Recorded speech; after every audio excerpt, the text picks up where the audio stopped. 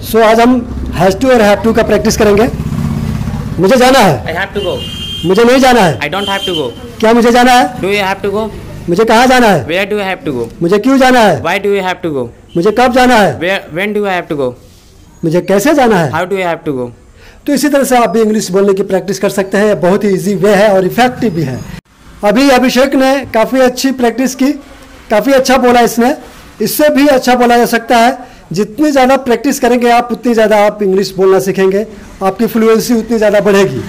तो अभी मैंने हैश टू और हैव टू का पढ़ाया था तो व्यूअर्स आपको बता दूँ कि ये हैज़ टू और हैव टू वाला सेंटेंस था। जब हम सेंटेंस में लास्ट में ना है नी है ने है रहते हैं तो उसे हम हैज़ टू और हैव टू से बनाते हैं। लेकिन अगर सेंटेंस ऐसा हो कि उसे दवाई खानी पड़ती है मीन्स ना पड़ता है नी पड़ती है ने पढ़ते हैं अगर लास्ट में हो तो उस सेंटेंस को भी हम इसी तरीके से बनाएँगे। तो इसकी प्रैक्टिस हम करेंगे विंध्याचल के साथ। विंध्याचल आप आ जाइए ज़रा। अभिषेक जाइए आप।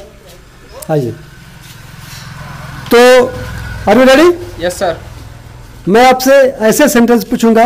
ना पढ़ता है नी पढ़ती है ने पढ़ते हैं। अभी मैंने आपको बताया कि ना है नी है ने है वाला sentence has to have to से बनता है ओके तो इस इस तरह के सेंटेंस को भी हम हैज़ टू हैव टू लगा कर ही बनाते हैं।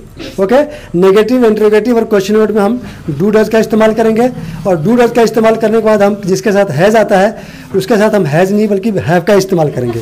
Okay so are you ready let's start उसे दवाई खानी पड़ती है। He has to take medicine. उसे दवाई नहीं खानी पड़ती है। He doesn't have to take medicine. क्या उसे दवाई खानी पड़ती है? Does he have to take medicine? उसे दवाई क्यों खानी पड़ती है? Why doesn't he have to take medicine? उसे दवाई कब खानी पड़ती है? When does when does he have to take medicine? Yes very good go तो फ्रेंड्स इसी तरीके से आप भी प्रैक्टिस कर सकते हैं अपने घर पे।